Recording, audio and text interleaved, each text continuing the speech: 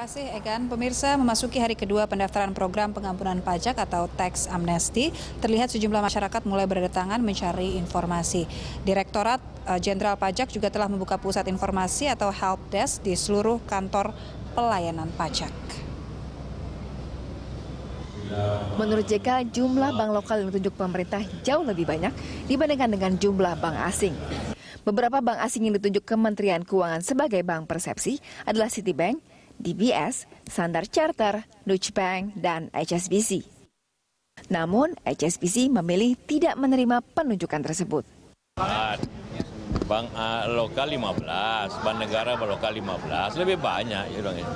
Pak, harapannya untuk Wahda Islamiyah gimana Pak? Hah? Tidak takut dananya itu akan keluar lagi? Karena ada aturannya, dana itu harus di lock up minimum 3 tahun. Menurut Undang-Undang Pengampunan Pajak, dana repatriasi tersebut diwajibkan mengendap di dalam negeri minimal tiga tahun. Bank asing dilibatkan oleh pemerintah Indonesia karena memiliki cabang yang terbilang banyak dan sudah melalui proses seleksi dan berbadan hukum Indonesia. Sehingga mengikuti aturan yang ada dan diawasi oleh otoritas jasa keuangan. Sementara itu, salah satu bank persepsi milik pemerintah, Bank Rakyat Indonesia, siap menampung dana repatriasi pengampunan pajak. Untuk mensukseskan program tersebut, BRI menyiapkan 120 unit sentra layanan prioritas dan 1070 layanan prioritas yang tersebar di seluruh Indonesia untuk melayani keperluan wajib pajak. Pokoknya ada 120 ya.